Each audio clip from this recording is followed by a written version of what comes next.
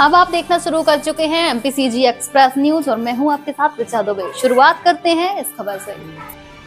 उत्कृष्ट विद्यालय के छात्र व्यवसायिक शिक्षा में दिखा रहे रुचि। बक्सवाहा शासन की मंशा अनुसार बच्चों के उज्जवल भविष्य के लिए विद्यालयों में व्यवसायिक शिक्षा पर खासा ज़ोर दिया जा रहा है, जिससे छात्रों का चहुमुखी विकास हो सके। शासकीय उत्कृष्ट उच्चतर माध्यमिक विद्यालय बक्सवाहा में व्यवसायिक पाठ्यक्रम की कक्षाएँ लगातार संचालित की जा रही हैं।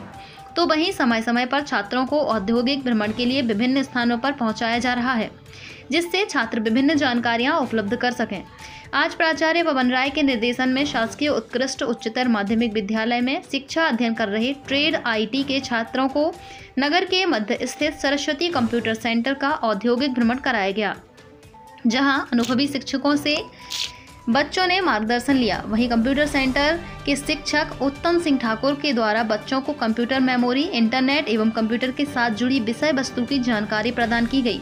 औद्योगिक भ्रमण में बच्चों ने बढ़ चढ़कर हिस्सा लिया। इस दौरान कंप्यूटर सेंटर संचालक राजू दुबे द्वारा बच्चों को प्रोत्साहन कर उज्जवल भविष्य की कामना की। इस दौरान व्यवसायिक शिक्षिका श्रीमती पूजा सिंह, शिक्षक राजेश बिल्थरे, अंकित जैन, गोविंद विश्वकर्मा, श्रीकांत खरे के साथ स्टाफ की मौजूदगी रही।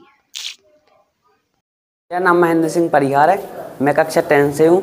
हम, मैं, हम लोग, हम लोगों का सब्जेक्ट आईटी है और हम लोग यहाँ पे आज भ्रमण के लिए आए हैं, जिसमें हम लोगों ने आज डेटा इंसर्ट करना सीखा है और कंप्यूटर में शॉर्ट की सीखी हैं और अपनी ईमेल को किसी को फॉरवर्ड करना सीखा है। इस चीज़ आदि हम लोगों ने बहुत सारी चीज़ें आज यहाँ पे सीखी हैं। और हम लोगों को हम लोगों को आई आईटी सब्जेक्ट में बहुत कुछ चीज़ें नई सीखने के लिए मिली हैं, जैसे कॉपी पेस्ट प्रिंट निकालना, अपने डेटे को इंसल्ट करना को बहुत सारे डॉक्यूमेंट बनाना, बहुत सारी चीज़ें हम लोगों ने अभी दो साल में सीखी हैं। चूँकि एन एस क्यू एफ़ के थ्रू एक योजना लागू की गई थी, जिसका उद्देश्य मेन उद्देश्य था हर हाथ रोज़गार।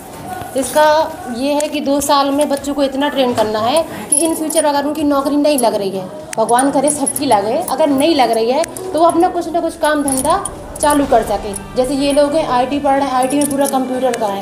कंप्यूटर का ये लोग काम सीखेंगे, अगर ये जॉब नहीं कर पा रहे हैं तो ये अपना कोई ना कोई ठेला मतलब कोई दुकान खोल सकते हैं, कोई उसके बैंक चला सकता है, बहुत सारे काम है जो ये लोग कर सकते हैं। यानी ये कोई बच्चा बेरोजगार नहीं रह पाएगा।